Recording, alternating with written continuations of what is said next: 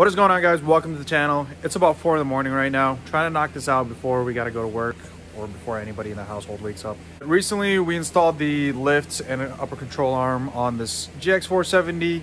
We've got this big beefy tire. In order for this tire to fit, this is by the way a 295 7017, so it's a 33.26 inch tire technically. It really feels like a 34. Well, let me show you guys what we're dealing with here, right? It looks like we've got space you know first off because we've got this thing off the ground and second off uh, even if i do put on the ground we're still going to have space here and there. The articulation of this thing kind of changes once you start turning or once you hit a bump and whatnot. And what happens is you start getting a little bit of rubbing here so this should be an easy mod. And then you start getting some rubbing right here. So that's your body mount. This right here is metal going straight to your frame and behind here is actually a body seam that it's kind of sharp. It comes out like this and it's all the way up to here. And even though this one's kind of further away from the tire, when we go to off-road or something or you hit a bump, we don't want this thing bouncing back and hitting that just in case. So we're gonna go ahead and work on chopping the body mount or trimming it to make it shorter. Then we're going to weld in a filler piece. And then the body seam that's over here, we're going to slice into it basically, you know, into sections and then we're gonna hammer it in. Then we're gonna obviously coat the metal and all that so we don't get corrosion. To make it easier for us to access this area, we're going to need to remove the side steps. I'm gonna show you guys first how we remove the side step, then we're going to start hacking into this thing. Helpful tools for this project, obviously a welder, a lot of persuasion, hacking, cut off tools. So I've got my handy dandy angle grinder. Got this because we need to remove some of these Torx screws. Now you're gonna need your sledge heat.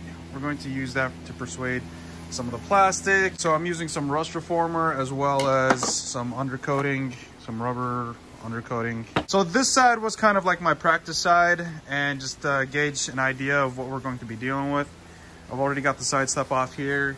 Got my body mount chop. It used to come out to like right there and I've got it chopped off and then I've got a metal plate welded back in. And then over here, if you see, so first off, I took some heat, persuaded this plastic into place. I basically folded it back on itself so I didn't have to cut into it. Then I just pushed it in with like a sledgehammer. As I was holding it in with the sledgehammer, I went ahead and gave it some heat.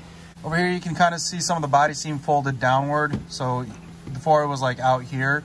And what I did is I, I cut ribs into it and then you just, you just slowly hammer it in and then you cover it with some undercoating. Over here, I still haven't trimmed it yet, but we'll work on that here in a bit.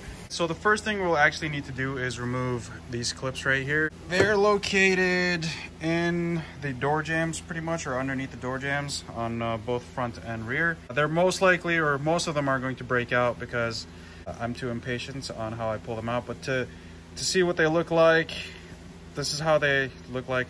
To get them out, you just gotta come in with a pick tool or like a very small flathead screwdriver uh, so you're gonna come in over here and over here and just kind of push these two tabs in. So you see that tab right there, and then there's a tab right there. You just push them in and then pry out. I'm pretty sure Lexus has their own special tool to remove these. There's uh, several in the back, and then you close the back, and there's several in the front. Well, underneath, we're going to remove two connectors. There's a connector right here. There's this rivet right here, and then there's actually like two pop popping rivets in there. And those look like, like these. You can see that one, uh, I'm guessing is still left on the GX. And then there's one right there that just kind of pops out. And for the hardware, you've got two, four, six bolts that you need to remove. They're 12 millimeter bolts. So let's go ahead and get to a time lapse.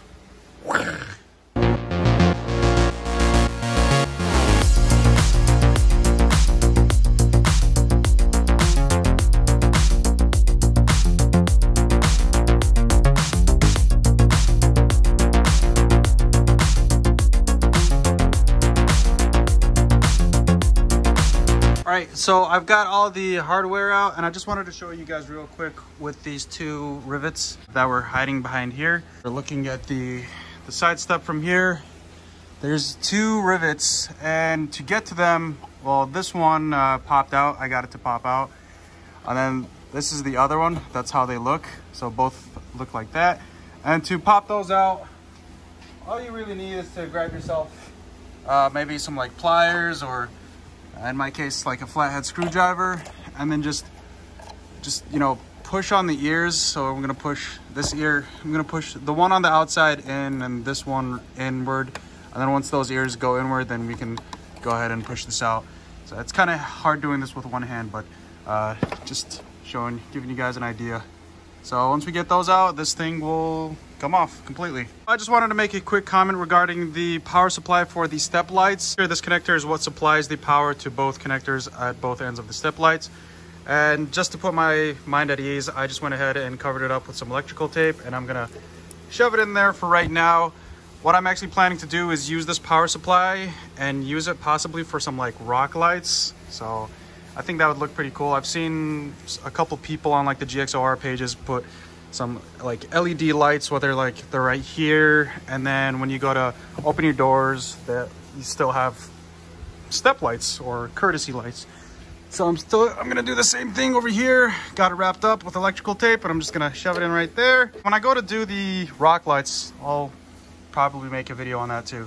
I'm gonna look at the body mount right here and I'm going to kind of aim for like the like the, the not necessarily the the half point of it but more of like three quarters of it. We're going to be closer to to this side. We'll probably go for like right there.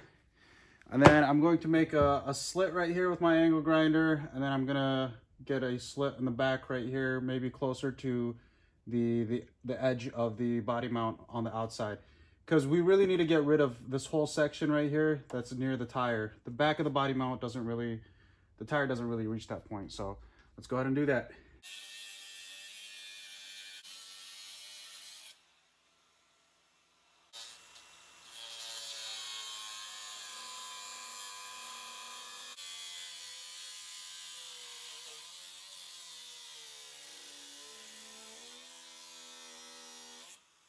All right, so just to show you guys where I made my, my cuts, there's one right there. And then on the side, that's how it's looking. Now that I've made my slits right there, what I'm gonna do is I'm gonna come in with my reciprocating saw now, or my hacksaw, and now I can run this cut up to here, and then we're gonna run from here all the way up to there. That way I could come in with my angle grinder and be able to get the, the top cut. Next, we're gonna use a hacksaw, or you could use a reciprocating saw with a good blade. So let's go ahead and run these cuts.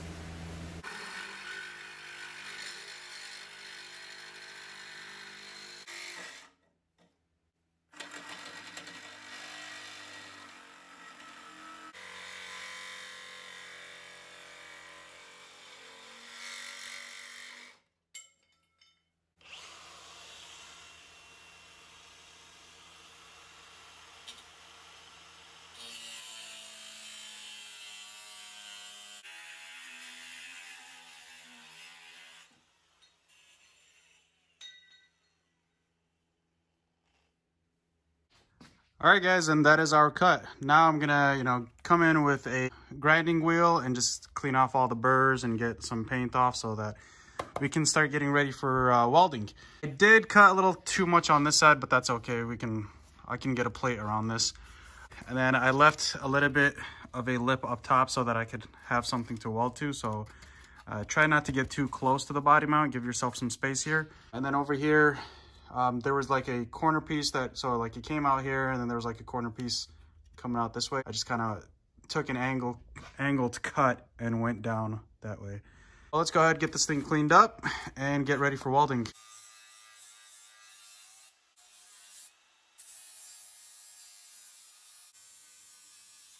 So now I want to start prepping myself with, you know, getting a plate measured out for this to, to weld in.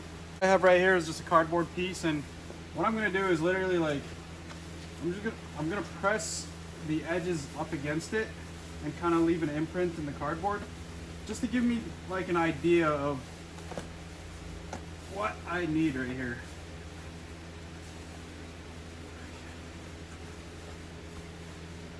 So I don't know if the camera can see that, but there's kind of like an outline to kind of just give me an idea. So I'll cut a little slightly bigger than this and then once we once we have something you know smaller to work on versus a large plate Then we can get it formed better to this.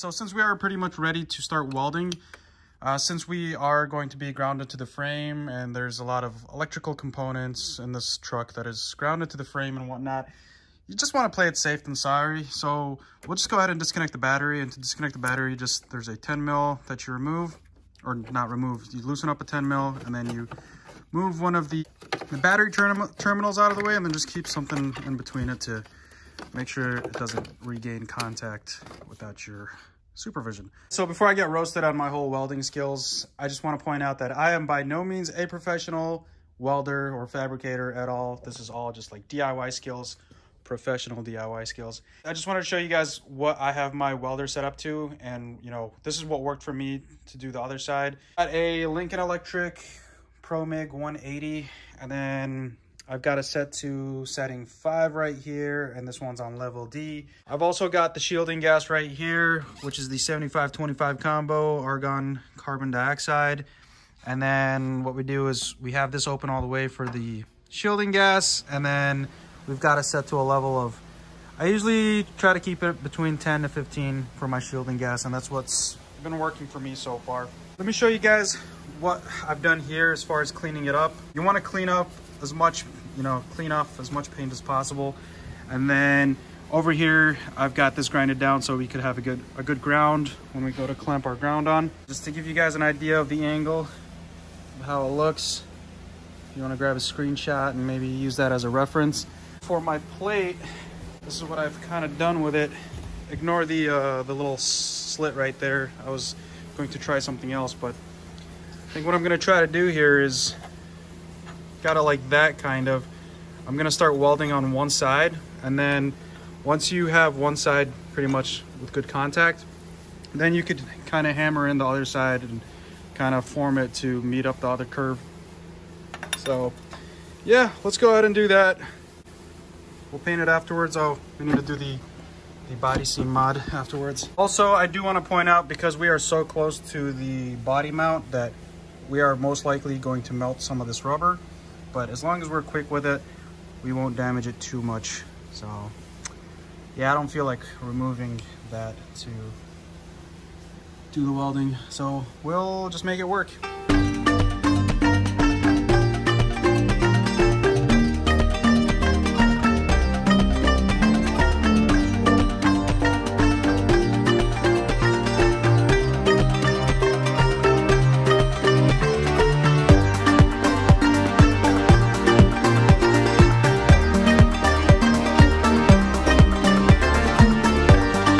Guys where we're at.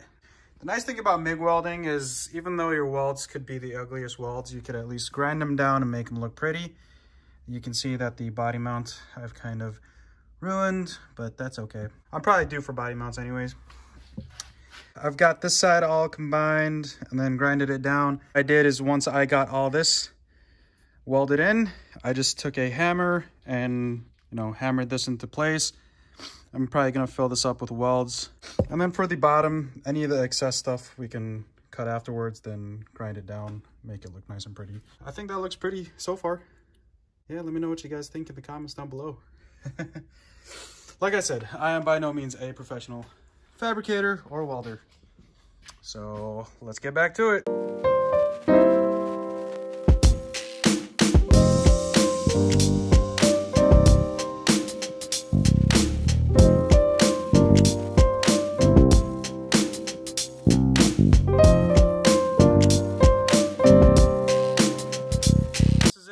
Welded in and grinded it down. So you see I had ugly welds and then I made it look pretty with my angle grinder and a grinding wheel. then I went ahead and cut this across and tried to get it as factory looking as possible. So the next step is to go ahead and get this cleaned up. I'm just gonna put some brake cleaner on it, wipe it down pretty good, and then uh, we'll spray it with some with some coating here. Next we'll be working on trimming the body seam.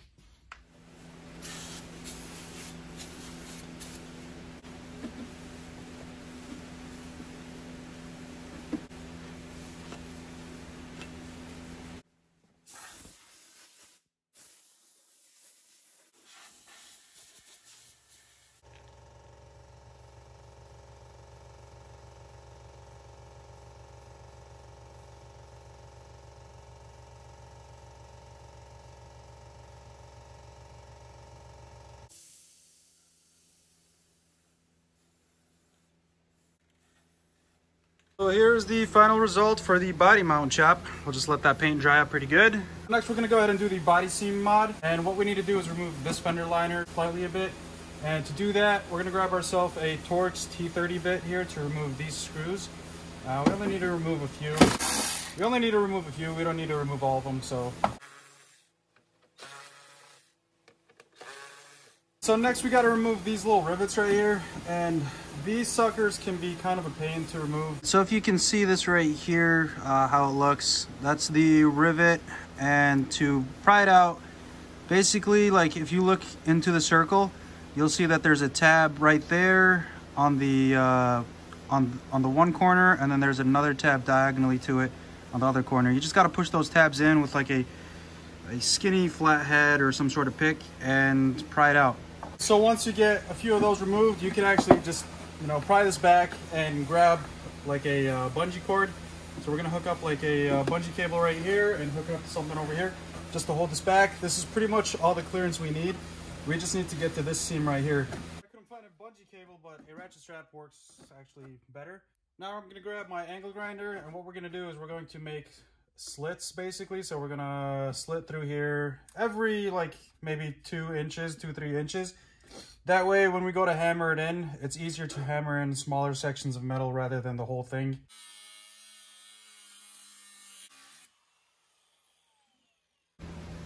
Alright, so I just want to show you the progress so far. These are the cuts that I made all the way to the top. Now we're just going to grab a sledgehammer and hammer it in.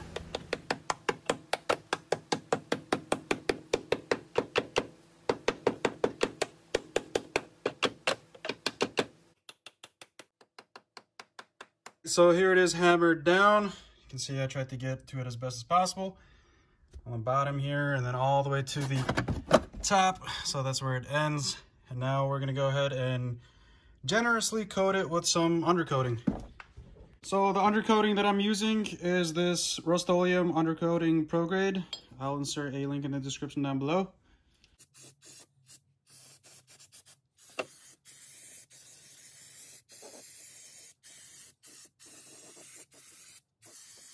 While we wait for that to dry, let's try to figure out something for this right here. Now I could either just cut it off or there's another mod where we undo these screws right here and then cut a section off the front and basically pull this in more and then use those holes to screw into.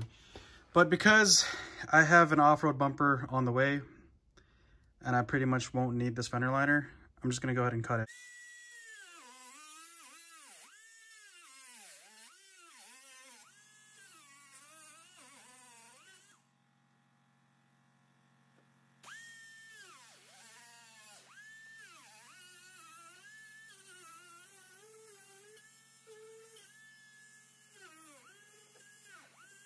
Gonna go ahead and reinstall these uh, screws or bolts, whatever you want to call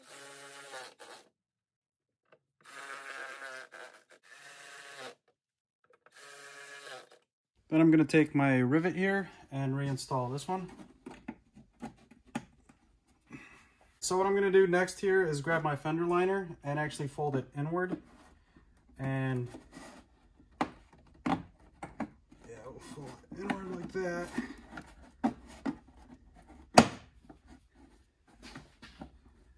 And then we're gonna grab my sledgehammer or grab something to hold it with because you don't want to burn your hands. I'm gonna hold it in place and we're going to apply some heat to it to form it into, into its shape. Now, if you have a heat gun, that works as well. I, I've got a torch, so why not?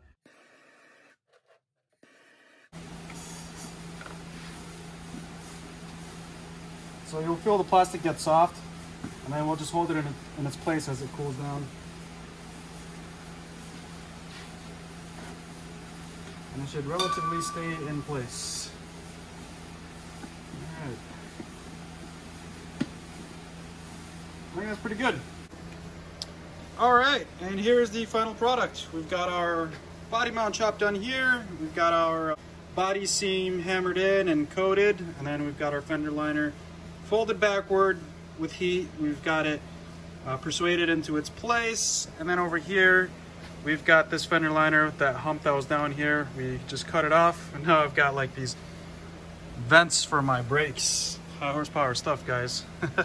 so all that's left to do is put the wheels and tires back on, reconnect your battery. When you go to turn this thing on, at least let it idle for a good 15, 20 minutes. I'm pretty sure these Toyota vehicles, Toyota, Lexus, Subaru, they have that thing where if you disconnect a battery or put a new battery on, it's got to go through like an idle relearn for the throttle, probably for the electronic throttle control. Hopefully this video gave you the confidence to do it yourself or convince you that you should probably take it somebody else to do it for you. If you have any questions or comments, go ahead, and drop them down below. In the meantime, I need to go get ready for work, but I'll catch you guys in the next video. Thank you guys for watching. Don't forget to like, share, and subscribe to the channel. It motivates your boy to do more of this kind of stuff. Got to keep the content coming out for you guys as best as possible. But uh, yeah, we'll see you guys in the next video. Peace out.